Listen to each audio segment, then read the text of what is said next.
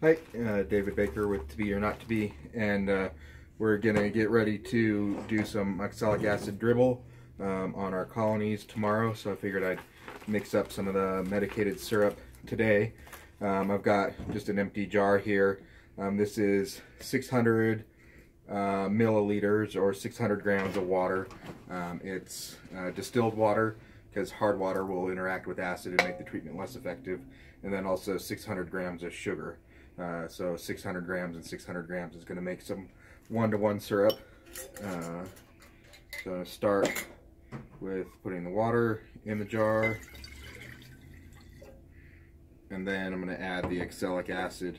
Um, oxalic acid is, dissolves easier in water than it does in syrup. And this is uh, 35 grams of oxalic acid um, labeled for use in beehives. Uh, and it's fairly innocuous stuff, but you don't want to splash it in your eyes. Just the goggles. And let's put the 35 grams in there.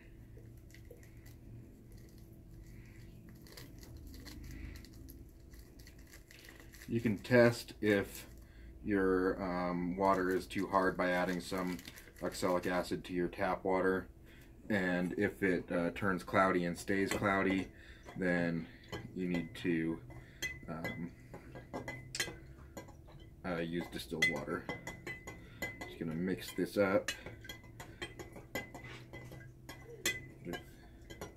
until it's completely dissolved and that's almost like that now.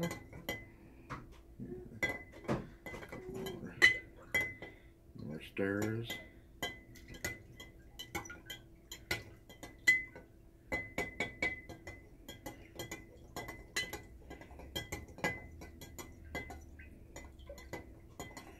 Um, you could heat the water a little bit.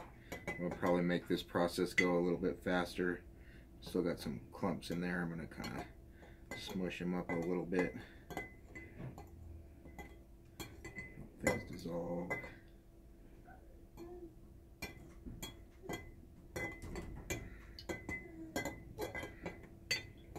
And as that's completely dissolved, then I'll add 600 grams of sugar for one to one syrup. And this too obviously would dissolve a little bit quicker if your water was hot or warm.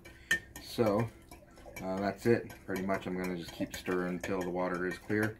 But uh, you guys don't need to stir out for that. After that, I'm going to uh, put it in a quart jar. And the quart jar, I'm going to label clearly poison, oxalic acid, uh, so that I'm always sure that it's not regular syrup or water or something like that. Thanks a lot.